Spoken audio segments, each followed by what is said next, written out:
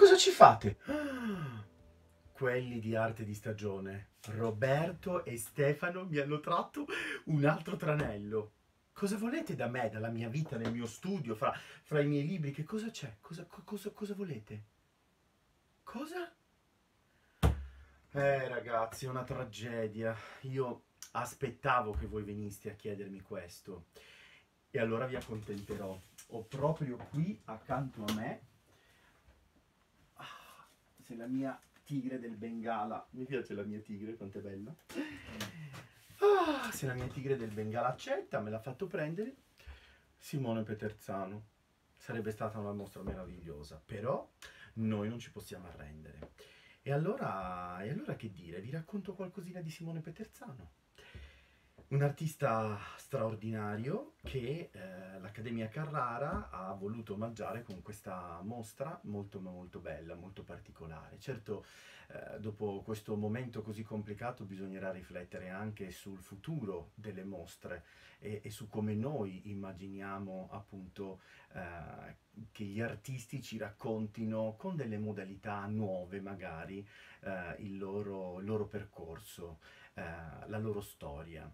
E intanto Simone Peterzano, come viene presentato in questa meravigliosa mostra, in questo excursus che l'Accademia Carrara ha pensato, è un artista appunto che, eh, tra virgolette, nasce eh, con eh, Tiziano e fa nascere un altro grande artista della storia dell'arte, e cioè Caravaggio. Per cui tra Tiziano e Caravaggio noi abbiamo la figura di Simone Peterzano artista che ehm, eh, così come lui appunto si, eh, si firma eh, Tiziano alunno, per cui allievo di Tiziano a Venezia, eh, nato in Lombardia, per cui in quelle che eh, Roberto Longhi definiva le brume lombarde, quelle che eh, saranno poi appunto all'origine dell'arte caravaggesca. E ehm, Simone ehm, ad un certo punto si innamora del colorismo veneto, della tecnica tecnica anche veneta, tanto cara a Giorgione, tanto cara a Tiziano, per cui il cosiddetto abbozzo monocromatico eh, che eh, già a Venezia appunto agli albori del Cinquecento si praticava e poi eh, Tiz Caravaggio eh, realizzerà e farà sua in maniera completamente nuova. E ehm, che cosa succede però? Che eh, quando noi andiamo a vedere le opere del uh, Peterzano, un artista che um, accoglie dal 1580 fino al 1584 il giovane Caravaggio presso il suo laboratorio, perché la madre lo aveva portato a studiare pittura presso di lui, uh, è un artista mh, ormai già famoso, ormai già affermato a Milano. Ha lasciato chiaramente Venezia, ha lasciato lo studio uh, eh, di Tiziano. E effettivamente se noi vediamo le opere del uh, Peterzano giovane ci rendiamo conto di come eh, per esempio la sua Venere Cupido con due satiri in un paesaggio, oggi un'opera che si trova a Milano alla Pinacoteca um, di Brera, uh, ci fa vedere come la posa della, della Venere, il sonno di Venere, il valore tattile di questo colore,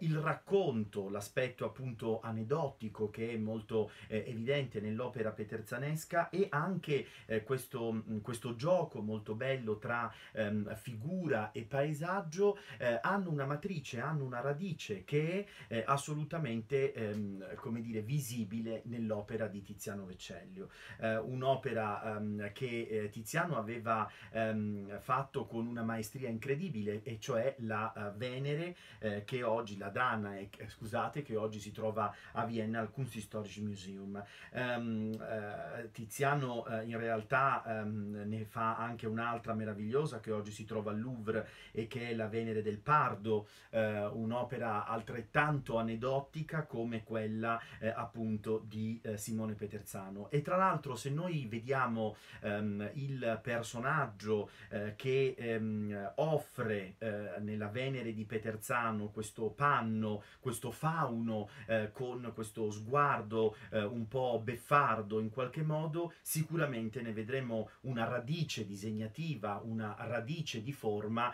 eh, nell'opera straordinaria del Louvre eh, che Tiziano appunto realizza, perché c'è proprio appunto questo eh, sodalizio d'amorosi sensi, questo afflato, questo fiato incredibile che noi eh, appunto vediamo.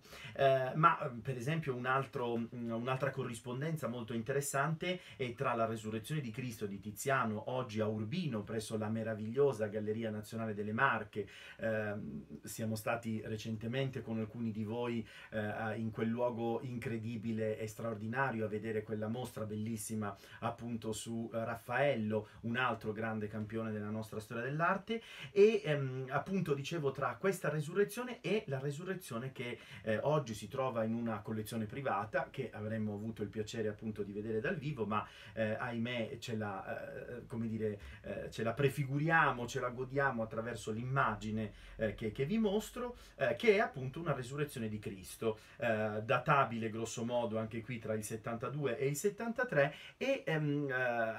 Peterzano realizza quest'opera guardando il, il cromatismo, la posa, la composizione nella sua struttura generale eh, di Tiziano che aveva dipinto un'opera simile eh, agli inizi degli anni 40, tra il 42 e, e, e il 44. Um, certamente n- la costruzione dell'opera, della composizione di Peterzano risente di quella di Tiziano, eh, ma non è così netta la separazione tra l'elemento verticale del Cristo e l'elemento orizzontale dei gendarmi. Um, in Peterzano c'è tutta un'unità, o oserei dire un'unitarietà compositiva eh, che ehm, appunto dialoga, eh, dialoga insieme. Um, uh, il, um, l'elemento veneto, dolce, eh, forte in Peterzano continua per esempio nei bellissimi riccioli eh, dei suoi puttini, dei suoi angeli che vediamo eh, comparire ehm, in tantissime opere, nel, nelle pale d'altare meravigliose eh, milanesi che Peterzano lascia in una serie di chiese, così come appunto in iconografie come il Cristo morto,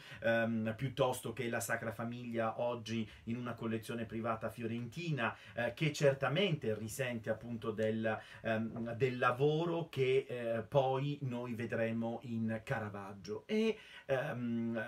Caravaggio è lì, è lì a limitare di questa novità e soprattutto sente queste forze eh, che eh, Peterzano aveva eh, preso su di sé da Venezia e poi ad un certo punto le reinterpreta come sa fare un grande maestro. Per cui noi vediamo eh, l'afflato ehm, peterzanesco nel giovane Caravaggio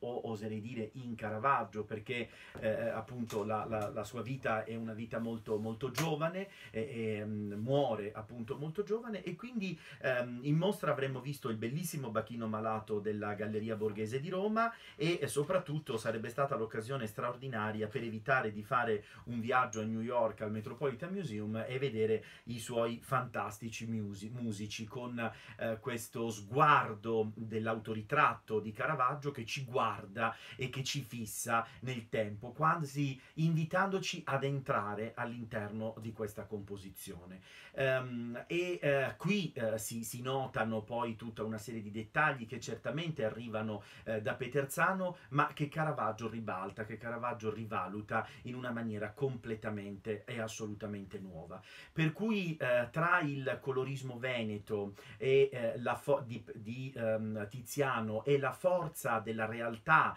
la forza dei sentimenti, la pittura che non mm, mente, che non sa dire appunto menzogne, per cui la pittura di realtà, al centro come chiave di volta, come perno tra questi due elementi c'è appunto Peterzano, un artista che eh, davvero noi possiamo immaginare come ehm, l'origine in qualche modo eh, di un linguaggio nuovo, che è l'origine della pittura di realtà, ma è anche il personaggio che ha saputo ehm, farsi maestro eh, eh, donandosi totalmente eh, a Caravaggio ma ha saputo anche farsi totalmente allievo prendendo eh, tutto quello che di meglio c'era da prendere dal, eh, da Tiziano. Eh, per cui tra Tiziano e Caravaggio noi abbiamo la magnificenza di Simone Peterzano eh, in una eh, mostra che certamente ci sarebbe piaciuta proprio tanto, eh, ma che noi appunto eh, recupereremo in qualche modo quando potremo